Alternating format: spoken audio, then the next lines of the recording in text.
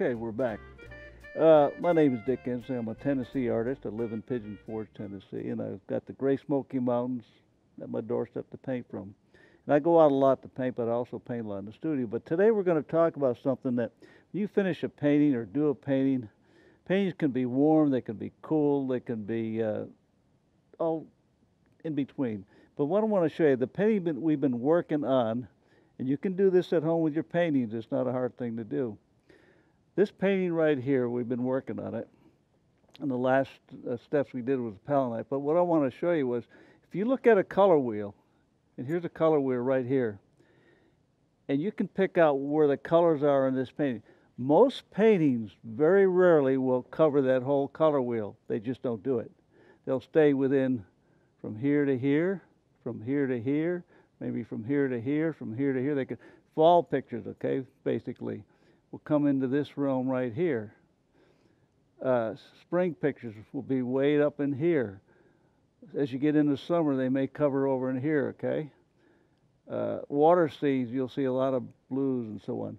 But this particular painting right here falls, if you look at it, it falls right into this realm of color right here. Now, to put a real punch to your painting, okay, and it'll be there, if you will take a couple of the colors opposite. Now you take this whole color, wheel, what I've done, flipped it, and guess what? Look at the red against the green. See it? Just hide this part of the color wheel. Let's just take that. Okay? See, there's your picture right there. There's the red color, the orange. See how they stand out against all these colors that are in there. But your basic painting is cool, and it covers this range of colors right here. Now I've done paintings all types that'll, uh, I'm going to bring another one up, I'm going to show it to you. It's one I did of my wife basically, if you look at it. Here again, a lot of the blues, the purples. This range covers right into here, okay? And then when you flip the colors, you get some of the warm colors here, here, see, okay? So that covers that color there. That's more over in this range. Not, not quite to that one. See, it's a little different color range. It's a little bit more cooler colors, more of the blues, the purples, okay? You can see them right over in here. This one has very few purples and blues. It's got a few, but not as many as this one does, okay? And here again, we talked about how you sign your paintings.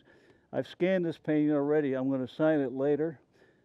But let your paintings sit. Now, uh, oils usually take at least three months to sit before you varnish them.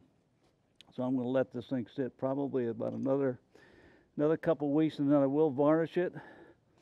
But anyhow, that's what I wanted to talk to you about today. And just evaluate your paint. Look where it stands. And sometimes you may want to get a little extra punch to your painting and say this red wasn't in here, okay? That that color was all green, it'd be very boring. But that red shocks the paint. Remember, it's the, also the opposite of the green. Anything opposite will will cause a little bit of a turmoil in your mind. But it also helps the painting to, to give you a little extra, extra uh, shocking. I call it shocking value. Uh, a lot of times my students will be painting, and I'll go up to them and just put a total opposite color what they've been painting on it, and it shocks the brain into seeing new things in the painting.